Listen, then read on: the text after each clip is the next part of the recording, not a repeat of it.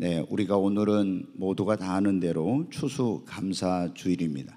이 추수 신약의 추수감사 주일의 유래는 1620년에 영국에서 청교도라고 하는 그런 개신교도들이 그때 신앙의 박해를 받고 있을 때 자유를 찾아서 그 당시 신대륙인 아메리카로 메이플라워라는 그런 배를 타고 대서양을 건너 수개월의 항해 끝에 지금 미국의 동부에 있는 플리머스라는 곳에 도착해서 이제 그의 농사를 지어 가지고 하나님께 감사의 예배를 드린 데서 시작이 되었습니다. 그들은 항해 중에 많은 사람이 병들고 또 새로운 그런 대륙에 와서 추위와 풍토병으로 목숨을 잃었지만 고난 중에도 그 첫 열매를 거두어서 신앙의 자유를 주셔서 하나님을 섬길 수 있게 해주신 그 하나님께 감사의 예배를 드렸습니다. 그들에 비하면 지금 우리는 얼마나 감사할 것이 많은지 모릅니다.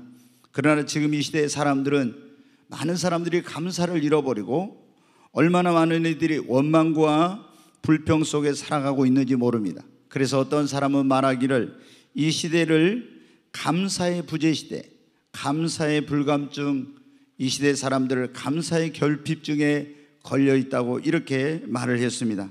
감사할 일이 너무 많은데도 감사치 않고 조금만 어떤 일이 기대대로 안 되고 어려운 일이 생기면 많은 이들이 원망하고 불평합니다. 그러나 성경은 우리에게 뭐라고 말씀하고 있습니까? 항상 기뻐하라. 쉬지 말고 기도하라. 범사에 감사라. 이는 그리스도 예수 안에서 너희를 향하신 하나님의 뜻이라고 말씀하고 있습니다.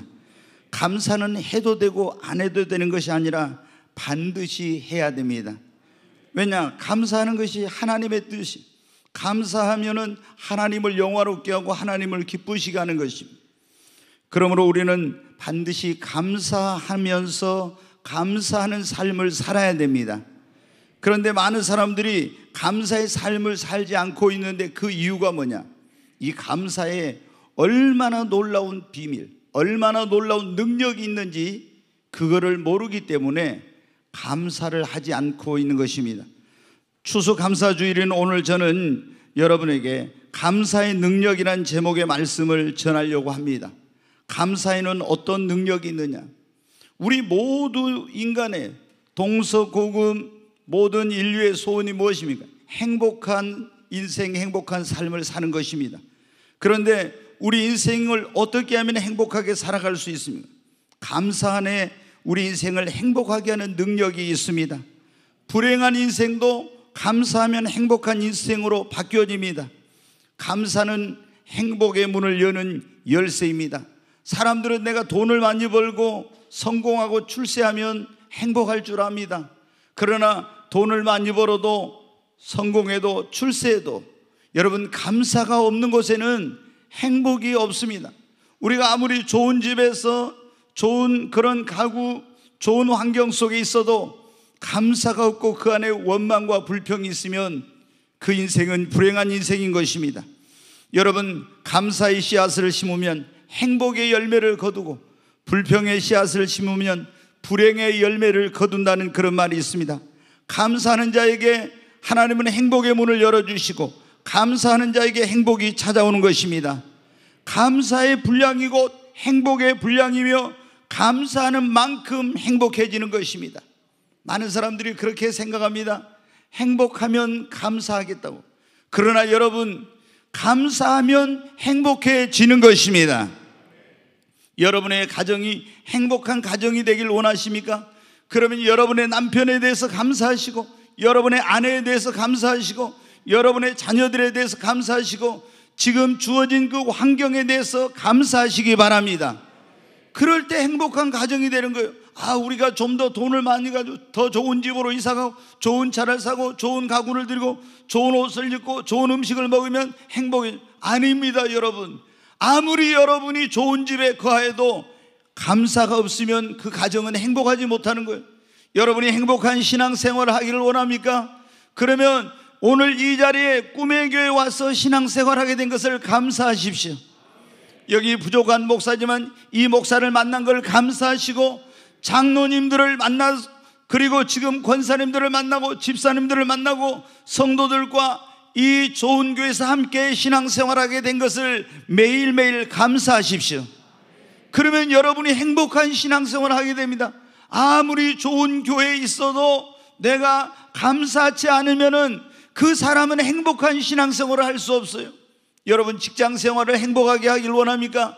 그러면 내가 지금 일할 수 있는 직장이 있음을 감사하고 일할 수 있는 건강이 있음을 감사하고 나를 채용해 주신 사장님께 감사하고 함께 일할 수 있는 동료들이 있음에 대해서 여러분 감사하시기 바랍니다. 그래야 행복한 직장 생활을 하는 거예요. 근데 맨날 가서 불평하고 원망하고 이러면서 여러분 직장 생활하면 결코 행복한 직장 생활을 할 수 없습니다. 여러분 한번 우리 따라서 합시다. 감사는 감사는 행복의 문을 여는 열쇠입니다. 아멘. 여러분 행복해지고 싶습니까? 그러면 먼저 감사하십시오. 감사하면 행복의 문이 열립니다. 여러분 감사에는 어떤 능력이 있다고요? 우리의 인생을 행복하게 만들어주는 능력이 있습니다. 두 번째로 이 감사에는 치유와 구원의 능력이 있어요. 자, 한 말씀을 하나 보겠습니다.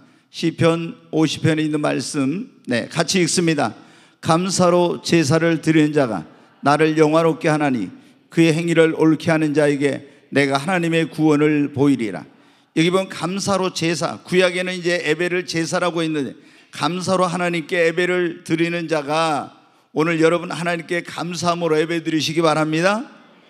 그런 사람이 하나님을 영화롭게 하고 그렇게 감사로 하나님께 예배를 드리는 자, 감사하는 자에게 하나님은 내가 구원을 하나님의 구원을 보이라고 했죠. 이 구원이라는 말은 치유와 위기에서 위험에서 건지고 보호해 주고 이런 것을 다 의미하고 있습니다. 그래서 이 하나님 앞에 우리가 감사하게 되면 이 감사에게는 감사에는 어떤 능력이 치유와 그리고 회복과 구원의 놀라운 능력이 이 감사 안에 있습니다. 스텔리 텐이라고 하는 미국의 그런 유명한 사업가가 있었어요. 이 사람이 회사를 세우고 돈을 아주 뭐 많이 벌었습니다. 크게 성공했어요. 근데 어느 날 갑자기 몸이 아파서 병원에 갔더니 당신은 척추암 3기라고 하는 진단을 받게 되었습니다.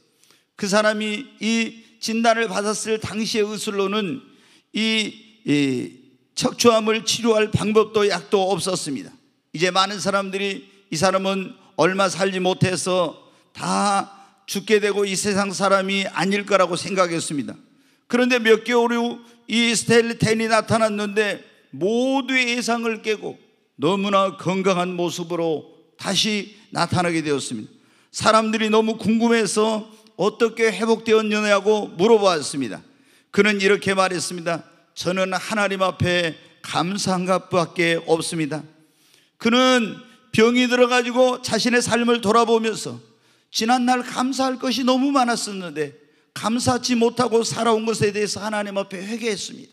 그리고 하나님 살아온 날들에 대해서 감사하고 지금까지 살 수 있었음에 대해서 감사하고 병 주신 것도 감사하고 살아도 감사, 죽어도 감사, 오직 하나님께 감사했습니다. 그는 하루에도 수십 번, 수백 번씩 감사를 했다고 합니다. 그랬더니 그 몸 안에 있는 암세포가 점점 줄어들고 신선한 새로운 세포들이 막 생겨나기 시작한 겁니다. 감사하는 동안 결국에 그 몸 안에 있던 모든 암세포가 사라지고 잃어버렸던 건강을 회복하는 역사가 일어났습니다. 여러분, 감사에는 우리의 몸의 질병을 치유하고 우리를 위경에서 건지는 놀라운 치유와 회복과 구원의 능력이 감사의 안에 있습니다. 돈 베이크라고 하는 분은 감사요법, 예, 감사요법 치료법이란 것을 이 개발을 한 사람입니다. 그는 말하기를 이 치료법은 돈도 들지 않고 부작용도 없고 식전이든 식후든 따지지 않고 어떤 질병이든지 어떤 문제이든지 감사만 하면은 치료받지 못할 병, 해결되지 않을 문제가 없다고 그렇게 말했습니다. 가장 좋은 치료법은 감사 치료법이라고. 여러분, 여러분이 질병 가운데 있습니까? 문제 가운데 있습니까? 원망하고 불평하고 낙심하지 말고 오늘부터 여러분이 한번 하나님 앞에 이 돈 베이크가 말한 것처럼 그거는 돈도 들지 않습니다. 그리고 어디에 서든지 언제든지 할 수 있습니다. 하나님 앞에 한번 감사를 드려보십시오. 하나님이 분명히 말씀하셨습니다. 감사로 제사를 드린 자가 나를 영화롭게 하라니 내가 그에게 하나님의 구원을 보이리라. 여러분이 감사하면 그 어떤 것으로도 해결이 안 되던 어떤 의학, 의술로도 고칠 수 없던 그 질병이 치유되고 문제가 해결되는 놀라운 일이 일어나게 될 줄로 믿습니다. 하나님은 감사하는 자에게 이런 놀라운 은혜를 베풀어 주십니다. 여러분 뿐만 아니라 이 감사에는 그 사람의 인격과 그리고 환경과 삶과 인생을 변화시키는 놀라운 능력이 있습니다. 제가 몇십 년 전에 멀린 캐도로스라는 목사님이 쓴 감옥 생활에서 찬송 생활로 하는 그런 책을 읽고 굉장히 감동을 받은 적이 있어요. 이분이 어렸을 때 아주 불우한 환경 속에서 자라면서 좀 삐뚤어지고 막 이랬습니다. 굉장히 불행한 인생을 살았어요. 그러다 이제 군대에 갔는데 또 죄를 짓게 되고 감옥에 갔는데 그 감옥에서 탈출을 하게 되고 아주 정말 망가진 그런 인생. 그래 감옥에 들어가서 또 그 감옥 생활을 하게 죄수 생활을 하게 됐는데 그때 자신의 운명을 저주하고 원망과 불평 속에 살던 이 사람이 예수님을 믿고 감사하며 찬송하기 시작했습니다. 그랬더니 상상도 못할 환경의 놀라운 변화와 기적이 그의 인생과 삶 속에 일어나기 시작한 것입니다. 그래서 그가 나중에는 예수님을 믿었던 그가 성령 받고 목사님이 돼가지고 계속 만나는 사람들에게 감사의 삶을 살아고 하나님을 찬양하라고 어떤 환경 속에서도 하나님을 찬양하십시오. 그러면 하나님이 당신의 환경을 변화시키고 그리고 당신의 운명을 바꿀 것입니다 하면서 감사를 전하는 그런 하나님의 종이 되었습니다. 여러분, 이 책을 읽은 짐이라는 사람이 있었습니다. 알코올 중독자이신 아버지를 위해서 어머니와 아내와 함께 30년 동안 매일 이 알코올 중독에 찌든 아버지를 고쳐달라고 기도했으나 해방시켜달라고 기도했으나 응답을 받지 못했어요. 그런데 짐은 감옥 생활에서 찬송 생활로라는 이 책을 읽고 그래 아 내가 기도는 했지만 이 알코올 중독자인 아버지를 인하여 감사하지 못했구나. 그리고 그날부터 이 아버지를 위해서 어머니와 아내와 함께 감사의 조건을 찾아서 기도하기 시작했습니다. 술을 그렇게 드셔도 길거리에 쓰러져서 집에 들어오지 못한 날이 없었고, 술을 그렇게 마시고 들어와도 집에 와서 술주정을 부리는 법이 없었고, 물건을 집어던지고 폭력을 휘두르고 이런 일이 없었고, 하나님 앞에 계속 감사하고 감사하고 감사했습니다. 그런데 여러분 어떻습니까? 그렇게 30년 동안 기도해도 변화가 되지 않던 응답이 없었던 그 알코올 중독자인 아버지의 기도에 감사하면서 기도하자 놀라운 일이 일어났습니다. 어느 날 짐이 집에 들어오니까 아버지가 말합니다. 내가 오늘 TV에서 예수님에 대한 그런 말씀을 들었는데 예수님이 어떤 분이냐고 물어봅니다. 그리고 또 나도 교회에 가도 되느냐고 물어봤습니다. 그렇게 해가지고 이분이 교회에 나와서 예수님을 믿고 구원받고 하나님의 능력으로 알코올 중독에서 여러분 해방되었습니다. 아무리 기도해도 변화가 안 되고 응답이 안 되었는데 감사하면서 기도하자 그 기도가 신속하게 응답되고 아버지가 알코올 중독에서 해방되는 놀라운 역사가 일어났습니다. 여러분, 감사는 감사하는 사람을 변화시킵니다. 제가 보면요, 늘 원망하고 불평한 사람들은요, 부정적이고 그 불신앙적 이런 사고를 가지고 있어요. 그런데 감사하는 삶을 사는 사람들은 보면요, 굉장히 긍정적입니다. 그리고 그런 사람은 인격이 성숙해 있는 걸 볼 수가 있어요. 감사는 그 사람의 삶을 변화시키고 환경을 변화시키고 그 사람의 인생을 변화시켜서 더욱 감사가 넘치는 삶으로 바꿔놓는 것입니다. 여러분, 여러분의 그런 환경이 변화되고 삶이 변화되고 여러분 자신이 변화되고 인생이 변화된 그런 삶을 살길 원하면 오늘부터 원망 불평하지 말고 하나님 앞에 범사에 감사하시기 바랍니다. 범사라는 것은 무엇입니까? 좋은 일 있을 때만이 아니라 안 좋은 일 있을 때도 형통할 때뿐만 아니라 형통하지 못할 때도 건강할 때뿐만 아니라 건강하지 못할 때도 내 기대대로 됐을 때뿐만 아니라 기대대로 안 됐을 때도 기쁠 때뿐만 아니라 슬플 때도 하나님 앞에 감사하는 것이 범사에 감사하는 것입니다.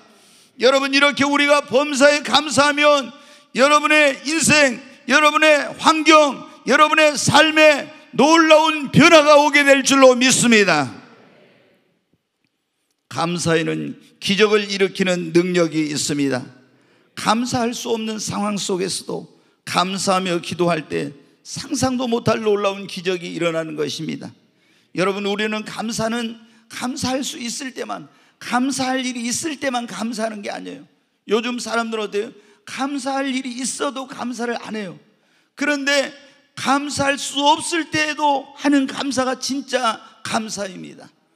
성경에 보면 여러분 다니엘은 나라가 망해가지고 우리나라처럼 남북으로 이 이스라엘이 갈라져 있는데 남쪽의 유다가 바벨론이라는 세계의 가장 강대국에 의해서 멸망을 당하고 바벨론에 이 다니엘은 포로로 끌려갔어요. 조상들이 지은 우상 숭배하고 죄 때문에 나라가 망하게 된 거예요. 그 이제 부모와 다 형제들과 뿔뿔이 흩어져 가지고 멀리 이국 땅에 포로로 끌려갔는데 얼마나 불우한 환경, 10대의 소년이 그런 어려운 가운데 처했습니까? 그는 원망하고 불평하고 조국을 탓하고 부모를 탓하고 조상들을 탓할 수 있었지만 원망 불평하지 않았습니다. 그는 그곳에서 감사하며 기도하며 살기로 결심했습니다. 그리고 하루에 세 번씩 시간을 정해서 하나님 앞에 기도하고 감사했습니다. 그랬을 때 여러분 상상도 못할 놀라운 기적이 일어났습니다. 하나님께서 왕립학교의 학생을 뽑는데 다니엘이 뽑히게 된 것입니다. 시험이 와도 감사했습니다. 어려운 일을 만나도 감사했습니다. 하루에 세 번씩 매일 기도하면서 감사했습니다. 나중에 바벨론이 멸망하고 페르시아가 세계를 지배하게 되었을 때도 그는 계속 감사를 그치지 아니했습니다. 하나님께서 감사하는 자에게는 형통한 길을 열어 주십니다. 그래서 세계를 지배하는 페르시아 제국의 수석 총리가 되었습니다. 많은 사람들이 그를 시기하고 질투해서 기도하고 감사하는 걸 알고 왕에게 누구에게 이런 일을 하는 자는 사자굴에 집어넣자고 왕에게 해가지고 결국에 다니엘은 사자굴에 들어가게 되었습니다. 그래도 그는 감사를 멈추지 않고 하나님 앞에 하루에 세 번씩 무릎을 꿇고 기도하며 감사했습니다.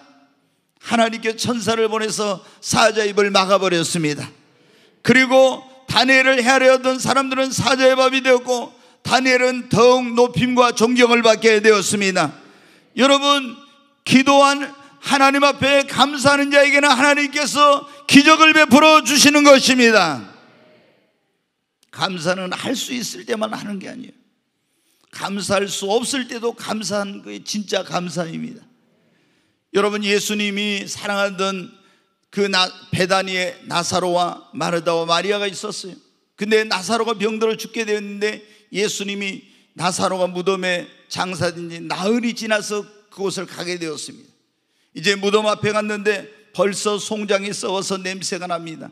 그런데 예수님께서 이미 죽어가지고 송장이 썩어나는 그 무덤 앞에서 하나님 앞에 감사했습니다.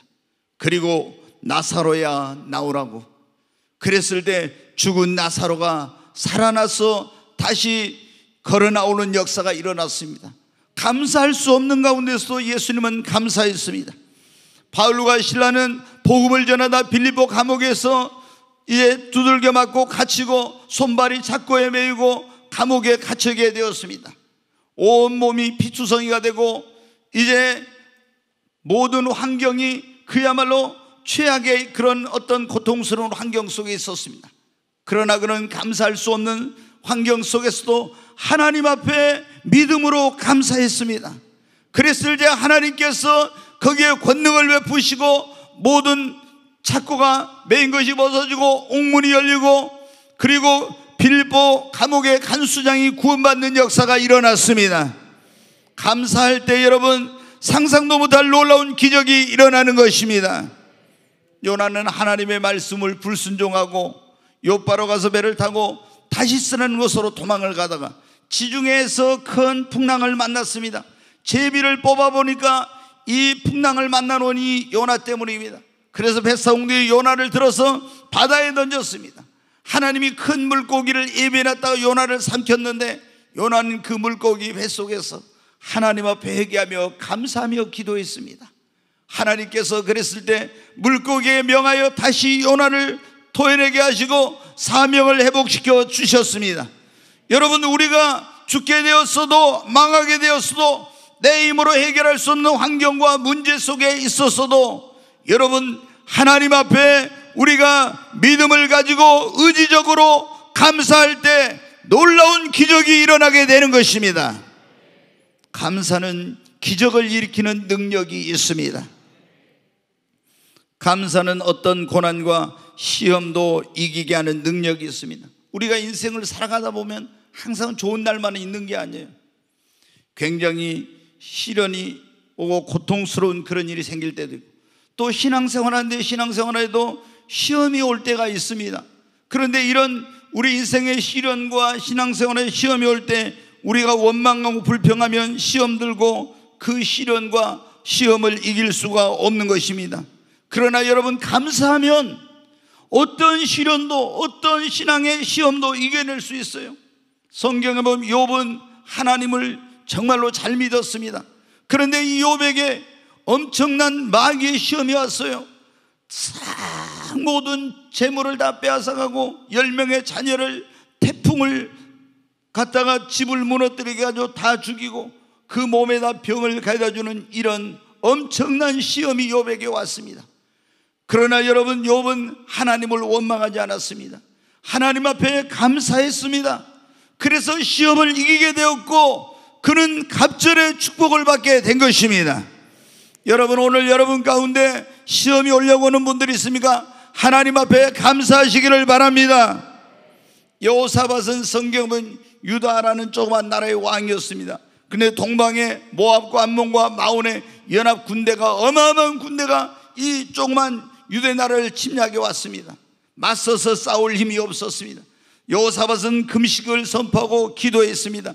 그랬더니 하나님께서 한 사람에게 그의 영을 부어서 너희는 싸울 것이 없다. 너희 하나님 여호와가 승리를 주시고 믿음으로 하나님 앞에 감사하며 찬양들을 앞세우고 감사 찬양하며 나갔을 때 하나님께서 적들을 자중 질환에 빠지게 하고 놀라운 승리를 주셨습니다. 자신의 힘으로 감당할 수 없는 일이었지만 감사할 때 하나님께서 놀라운 승리를 주신 것입니다. 여러분의 인생에 내 힘으로 감당할 수 없는 시련과 고난이 닥쳐올 때도 있습니다. 그러나 그때 원망하고 낙심하지 말고 하나님께 감사하면 하나님께서 그 고난 가운데 이길 수 있는 힘과 능력을 주시고 하나님이 여러분을 해하려고 하는 사람으로부터 승리케 해주시고 인생의 승리자가 되게 주시는 것입니다. 여러분, 감사에는 놀라운 능력이 있습니다. 어떤 고난과 시험도 이기게 하는 능력이 감사 있으므로 오늘 여러분이 감사의 삶을 사시기를 바랍니다. 감사는 감사하는 자에게 더 큰 축복, 더 큰 은혜, 구하지 않는 것까지 더해 주시는 능력이 있습니다. 예수님의 말씀을 듣고 수많은 사람들이 예수님 있는 곳으로 왔어요. 사흘길을 따라다니 먹을 것이 없었어요. 예수님이 제자를 불러서 말하면 빌리바 네가 저에게 먹을 것을 주어라. 선생님 200데나리온의 떡을 산다고 해도 부족합니다. 그래 이제 안드레 이 베드로의 형제인 안드레 가서 사람들이 먹을 걸 구해 보니까 한 소년이 보리떡 다섯 개 물고기 두 마리가 든 도시락을 가지고 있어요. 그거를 발견해 가지고 예수님 손에 갖다 드렸어요. 이 보리떡 다섯 개 물고기 두 마리는 소년이 먹기에 또 거의 부족한 아주 보잘것없는 작은 도시락이야. 그런데 예수님은 그 보잘것은 보리떡 다섯 개 물고기 두 마리는 도시락을 들고 감사 축사라는 그 말이 뭐냐면은 어, 유카리스라고 해서 오늘 감사 기도를 했다는 것입니다. 하나님 앞에 감사하고 기도했어요. 그리고 사람들을 50명, 100명, 10명씩 앉히라고 그거를 보리떡 다섯 개 물고기를 떼어주라고 했습니다. 그랬을 때 놀라운 기적이 일어났어. 나눠주면 나눠줄수록 더 많아졌습니다. 여자와 어린아이를 빼고 5천 명이 먹고 12광주리가 남는 기적이 일어났습니다. 여러분 작은 것 하찮은 것에 감사할 때 하나님은 놀라운 기적을 베풀어 주셨습니다. 10명의 문둥병자가 문둥병으로 인해서 가정을 떠나서 이제 골짜기에서 외롭게 지내고 있었습니다. 근데 이 사람들이 어느 날 놀라운 소식을 들었어요. 예수님이란 분이 물을 포도주로 만들고 소경의 눈을 뜨게 하고 죽은 자를 살리고 바람과 파도를 잔잔케 한다는 그래서 우리가 예수님을 만나면 이 문둥병을 고칠 수 있겠구나 하고 예수님이 있는 곳으로 왔습니다. 다윗의 자손 예수여 우리를 불쌍히 여기소서. 예수님이 말씀하셨습니다. 너희 몸을 제사장에게 가서 보이라 그랬어요. 지금은 병이 나았는지 안 나았는지 병원에 가서 의사 선생님에게 진찰을 받습니다. 그러나 그때 유대인들은? 문둥병이 나았는지 안 나았는지는 제사장이 그거를 판단하도록 돼 있었어요. 그 말은 예수님이 너희 몸을 제사장에 가서 보이라는 말은 너희 몸이 나았으니 제사장에 가서 보이라는 거였습니다. 그들은 헤어져 있던 가족들이 보고 싶었습니다. 사랑하는 사람들을 빨리 만나고 싶었습니다. 그래서 이제 제사장이 보이기 위해서 달려가는데 가다가 보니까 어때? 문둥병이 깨끗이 나음을 입은 거예요. 그 아홉 명은 빨리 제사장에 가서 너는 문둥병이 나았다는 그런 확신을 확증을 받고 가족의 품으로 돌아가게 달려갔습니다. 그러나 그 열 명 가운데 한 명인 사마리아인은 자기의 문둥병을 고쳐주신 예수님께 돌아와서 감사하며 하나님께 영광을 돌렸습니다. 그때 예수님이 말씀하셨어요. 다열 명이 고침을 받았거든. 그 아홉은 어디 있느냐? 이 사마리아인 한 사람 외에 없느냐? 그러면서 그 사마리아인 감사하며 돌아온 그에게 주님이 말씀하셨습니다. 네 믿음이 너를 구원하였으니 평안히 가라. 다른 사람들은 육신의 문둥병만 고침을 받고 갔지만 이 하나님 앞에 감사한 사람은 더큰 영혼의 구원을 받는 축복을 받게 된 것입니다. 여러분, 하나님은 감사하는 자에게 더 큰 복을, 더 큰 은혜를 구하지 않는 것까지 더해 주십니다.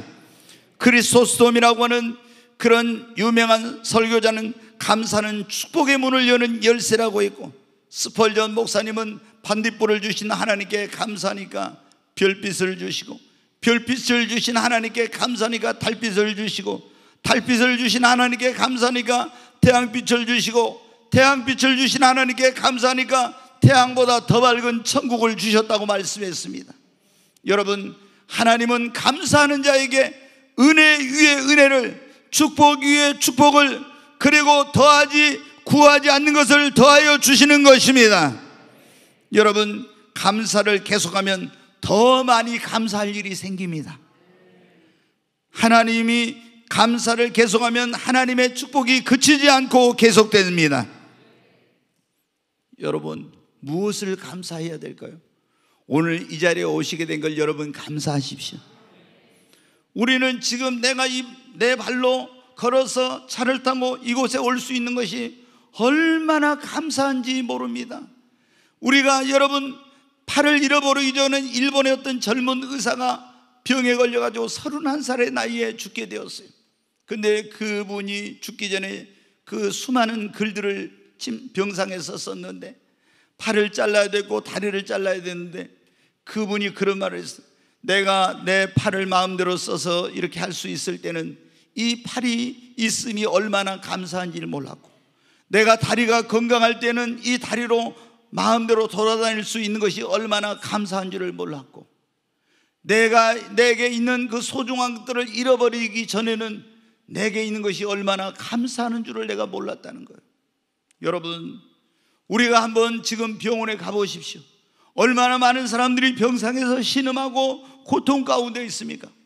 오늘 이 자리에 여러분이 올 수 있는 거 하나님의 은혜입니다.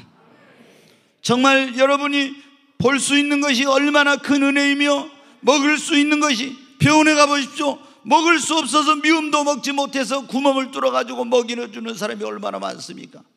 오늘 내가 마음껏 먹을 수 있어서 마음껏 이 아름다운 세상을 볼 수 있어서 내가 손과 발을 움직일 수 있어서 내가 하나님 앞에 나올 수 있어서 얼마나 여러분 감사한 일인지. 그런데 우리는 이것을 너무나 당연한 것으로 여기고 감사할 줄 모르는 거예요. 여러분, 아무것도 우연히는 없어요. 모든 것이 하나님의 은혜입니다. 우리는 하나님께, 예수님께, 성령님께 감사할 것이 너무나 많습니다. 무엇보다도 예수님을 보내서 정말 죄인 된 나를 십자가에 올리신 보혈의 피로 죄사함 받게 해주시고 구원해 주신 그 하나님의 은혜, 예수님의 은혜를 무엇으로 감사할 수 있겠습니까? 여러분, 나를 하나님의 자녀 삼아 주시고 천국의 후사가 주, 되게 해 주신 것을 감사해야 됩니다. 세상 끝날까지 내가 너희와 함께 있으라고 말씀하시고 언제 어디서나 항상 나와 함께 하시고 때마다 일마다 도우시는 주님께 여러분 감사해야 됩니다. 나의 삶을 축복해 주시고 환란에서 건져 주시고 좋은 나라에 태어나게 하신 것도 감사해야 돼요. 여러분 가끔 보시죠. 아프리카 같은데 그 땅들이 비가 안 와가지고 사막화돼 가지고 물을 구하지 못해서 얼마나 고통 가운데 살아가고 있습니까? 그런데 하나님께서 이 좋은 나라에 태어나서 이렇게 좋은 환경 속에서 얼마나 이 엄청난 보여와 이 축복을 누리며 살게 해주셨는지 하나님 앞에 감사하지 않습니까? 얼마나 이 아름다운 땅에서 살게 해주셨는지 감사할 것밖에 없습니다. 여러분, 좋은 교회를 만나게 하신 것 감사해야 합니다. 가정을 주신 것도 감사해야 합니다. 일할 수 있는 건강과 삶의 터전과 직장을 주신 것을 감사하십시오. 좋은 부모님, 선생님, 목회자, 셀리더, 이웃을 만나게 된 것도 감사하십시오. 범사에 여러분 감사하세요. 범사 조금 전에 말씀드린 범사에 감사하라. 항상 기뻐하라. 쉬지 말고 기도하라. 범사에 감사하라. 이는 그리스도 예수 안에서 너희를 향하신 하나님의 뜻이니라고. 아멘. 하나님은 우리가 감사하는 자가 되길 원합니다. 범사에 감사하길 원하십니다. 범사라는 것은 모든 일에 좋은 일뿐만 아니라 안 좋은 일에 형통할 때뿐만 아니라 형통하지 못할 때도 건강할 때뿐만 아니라 병들었을 때도 어떤 환경과 어떤 조건 속에서 무슨 일을 만나도 감사하는 것이 범사의 감사입니다. 여러분 우리가 예수 믿고 구원받았다면 우리는 감사할 것밖에 없어요. 진짜. 그 크신 하나님의 은혜로 하늘보다 넓고 바다보다 깊은 그 크신 하나님의 은혜로 우리가 예수 믿고 구원받아 하나님의 자녀가 되었고 우리가 소원이 있으면 하나님께 기도할 수 있고 그분을 아버지라 부를 수 있고 여러분 얼마나 놀라운 축복을 받았습니까? 우리는 감사할 것밖에 없습니다. 여러분 어떻게 우리가 감사해야 될까요? 먼저 진짜 마음에서 우러나온 진실한 감사를 하나님께 드려야 됩니다. 입술로 감사하시기 바랍니다. 우리가 입술로 하나님께 찬양으로 감사하는 것은 소 곧 굽이 있는 황소를 드림보다 더 하나님을 기쁘시게 하는 거라겠잖아요. 소 한 마리 여러분 황소 사서 하나님께 드리려고 해봐요. 그러면 천만 원 들어야 될지도 모르면 지금 속값이 비싸가지고. 그런데 우리가 하나님께 감사로 찬양을 드리는 것은 황소 한 마리를 드는 것보다 더 하나님이 기뻐하신다고. 우리는 몸으로 하나님께 베푸는 은혜 봉사하며 헌신하며 섬김으로 감사할 수 있습니다. 물질로 감사하고 또 부모님이라든가 선생님이라든가 이런 고마운 분들에게는 감사의 선물로 감사를 표현할 수 있고 또 하나님께 보답하는 삶으로 하나님을 기쁘시게 하는 그런 삶을 통해서 하나님께 감사할 수 있습니다. 여러분 목사님 그런데 감사하는 자가 되고 싶은데 어떻게 범사에 감사할 수 가장 중요한 것은 그것입니다. 절대 긍정의 믿음을 갖는 겁니다. 절대 긍정의 믿음을 갖지 않으면요 범사에 감사가 불가능해. 좋을 때는 감사할 수 있지만 힘들고 어려운 일 생기면 원망 불평하게 돼. 그러나 내게 일어난 이 모든 것에 대해서 절대 긍정의 믿음으로 이걸 받아들인 사람은요, 하나님 앞에 감사할 수 있어요. 제가 엊그제 어떤 집사님이 어디 회사에 갔다 오다가 이게 회사 사무실에 이제 계단으로 내려오셨는가 봐요. 내려오다가 마지막 그 계단에서 걸려가지고 넘어져가지고 다리에 금이 가고 손을 짚어가지고 이렇게 했다 하더라고. 그럼 이제 우리가 보통 절대 긍정의 신앙을 가지지 않는 사람들은 어떻게 합니까? 되게 재수 없이 아유 다리에 금이 가고 손이 또 이렇게 해가지고 이게 뭐냐 왜 이렇게 안 좋은 일만 생 이러면서 짜증내고 원망 불평해요. 그런데 여러분 절대 긍정의 신앙을 가지면 어떻게 합니까?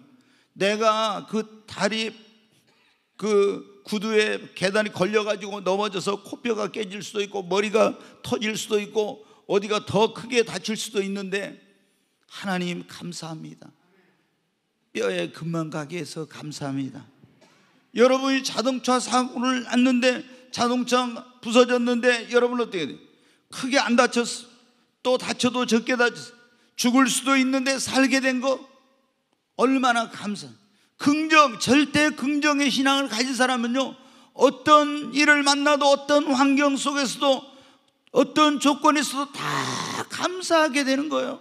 그런데 부정적인 사고, 이런 불신앙적인 사고를 가진 사람은요, 맨날 입만 열면 어떻게 원망 불평이요. 우리가 원망 불평은요, 마귀에게 문을 활짝 여는 거예요. 불행의 그런 문을 활짝 여는 것이. 그러나 감사는 행복의 문을 여는 것이며 축복의 문을 여는 열쇠요. 감사하는 곳에 하나님이 임재하십니다. 여러분 절대 긍정의 사고를 가지십시오. 우리가 이걸 완전히 바꿔야 돼요. 그래야 절대 긍정의 사고를 가져야만이 그런 절대 긍정의 믿음을 가져야만이 내게 일어난 이 모든 것들이 합력하여 선을 이루고 전하 이복이 될 거다. 내가 해를 당하고 화를 당하고 안 좋은 일을 당해도 하나님께서 이것이 전하 이복이 되게 하시고 역전되게 하실 것이고 화를 복으로 바꿔 주실 것이다. 이런 절대 긍정의 믿음을 가져야 됩니다. 그래야 어떤 경우에도 내가 막 기대했던 일 기도했는데 열심히 떨어졌어. 안 됐어. 그러면은 부정적인 사고를 가지면 하나님 내가 기도했는데 하나님 내 기도도 안 들이 이게 뭡니까? 나 이런 하나님 안 믿어 교회 안 나가 이럴 수 있어요. 그런데 어떻게 돼요? 긍정적인 사고를 하는 사람은 하나님 감사합니다.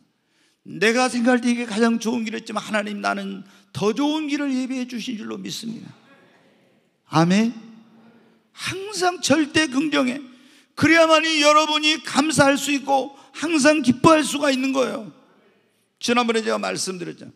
아유, 어려운 게 뭐냐? 아니, 항상 기뻐하라? 쉬지 말고 기도하는 건 그렇지만 범사에 감사하라. 어떻게 항상 기뻐해? 어떻게 범사에 감사해? 제가 하나님은 그런데 할 수 없는 걸 하라고 하시는 분이 아닌데 항상 기뻐해?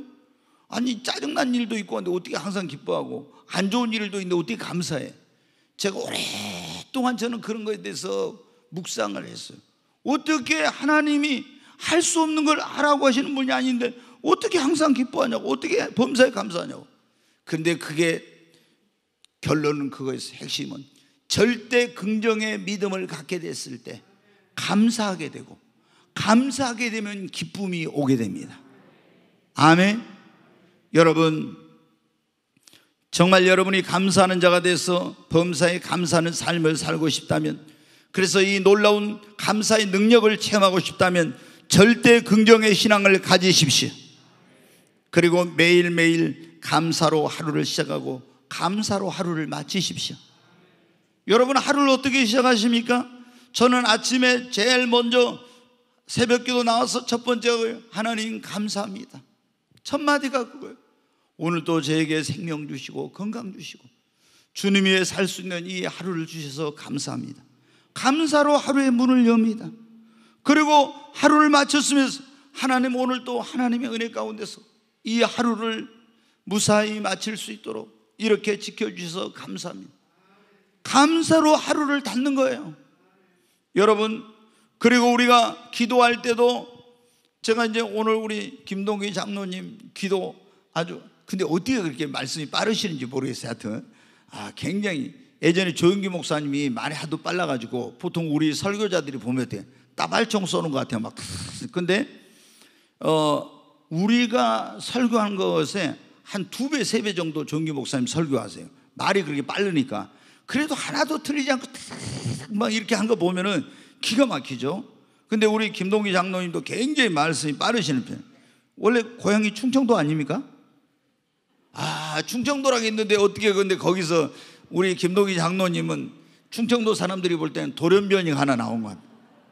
그러잖아요. 장경로 목사님 이거 충청도에서 지금 대전에 목회하시잖아요. 근데 막 웃기는 일 하면 충청도 사람 전혀 안 웃고 집에 가서 웃은대. 막 이렇게 아멘도 안 하고 집에 가서 아멘 그런다는 거예요.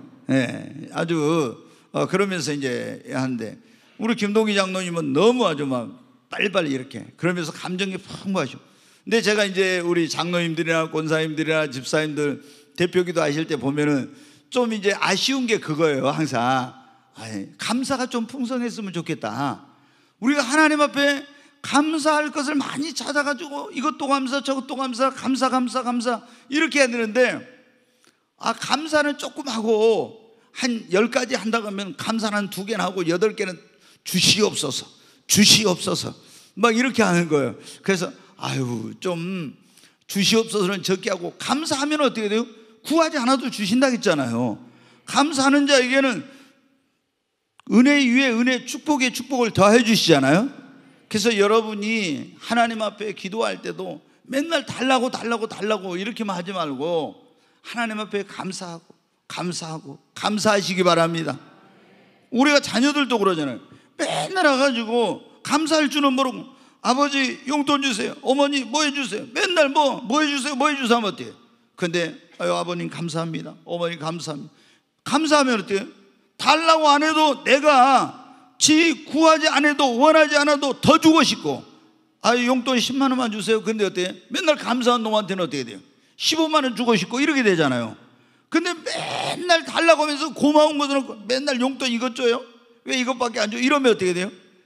주면서도 마음이 즐겁질 않아요. 우리가 하나님 앞에 어떻게 돼요? 감사를 생활화해야 되거든요. 감사를 습관화해야 되거든요. 입만 열면 감사가 돼야 되거든요. 무슨 일을 하도 하나님 감사합니다. 무슨 일을 하든 아, 여기 이제 이렇게 막 갔다 이거 어제 몇 시간 동안 하신 것 같은데 이거 하면서 어떻게 짜증 내면서 하면 어떻게 돼요? 안 되겠죠. 하나님 앞에 감사하고 교회 와서 봉사할 때도 돼. 하나님 봉사할 수 있는 건강 주셔서 감사합니다. 모든 걸 감사. 아, 감사. 여러분 그러니까 감사로 어떤 분이 그런 말을 우리 인생을 물들여라. 아침에도 감사, 한낮에도 감사, 저녁에도 감사. 여러분 범사에 감사하십시오. 정말 감사를 생활하고 감사가 습관이 되게. 저 제가 보면 우리 권사님들 가운데 이제 이렇게 신앙생활 오래 하신 분들을 보면요. 전에 이제 저희 그 장모님 권사님도 그랬는데 제 차를 타더니 교회를 차, 차를 차든지 하면요. 딱 첫 번째 자리에 앉자마자 아버지 감사합니다. 이렇게 딱 나와. 아버지 감사합니다. 여러분 어떠세요? 여기 권사님들 어, 교회 승합차 타면 어떻게 돼요? 앉으면 감사합니다 이렇게 합니까? 아니면 아니 뭐가 이렇게 차가 뭐가 어째 막 하면서 불평하고 이러십니까 여러분? 나는 가만히 있어 다 운전해가지고 다 모셔다 드리고 이렇게 하잖아요. 그럼 우리가 어떻게 돼요? 이렇게 감사해 감사. 입만 열면 감사하는 입만 열면 어떤 사람은 원망하고 불평하고 짜증내고 이러면 어떻게 돼요? 그런 인생이 어떻게 행복하겠습니까? 절대 행복하지 못해. 이 조금 전에 말씀드렸지만 청교도들이 정말 모든 것이 부족함이 없고 형통하고 다 이렇게 가지고 하나님 앞에 감사한 것이 아니에요. 고난 중에도 역경 중에도 하나님께 감사했어요. 여러분 우리는 얼마나 감사할 것이 많습니까? 그렇잖아요. 정말 감사할 것밖에 없어요, 실제로. 우리가 하나님 앞에 감사하는 감사가 행복의 문을 여는 열쇠입니다. 여러분의 인생이 행복한 인생이 되길 원하면 감사부터 하십시오. 여러분이 물질이 아무리 많아도 여러분이 성공해도 출세해도 감사가 없으면 결코 행복한 인생을 못 살아요. 감사할 때 행복한 인생이 돼. 감사할 때 치유와 구원의 역사가 일어납니다. 감사할 때 환경과 삶의 놀라운 변화가 일어납니다. 감사하면 기적이 일어납니다. 감사하면 어떤 시련과 고난도 이겨낼 수 있습니다. 하나님은 감사하는 자에게 축복 위에 축복, 은혜 위에 은혜, 그리고 구하지 않는 것까지 더해 주십니다. 여러분, 주님은 우리에게 범사에 감사하라. 이것이 그리스도 예수 안에서 너희를 향하신 하나님의 뜻이라겠습니다. 감사는 해도 되고 안 해도 되는 것이 아니라 좋을 때만 하는 것이 아니라 범사에 감사하는 것입니다. 우리 모두 감사를 생활하고 정말 범사에 감사하는 저와 여러분이 되어서 하나님을 기쁘시게 하고 영화롭게 하는 그런 성도님들 되시기를 바랍니다.